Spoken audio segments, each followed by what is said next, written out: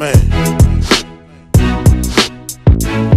Motherfuckers following the nigga around, dude. That's real.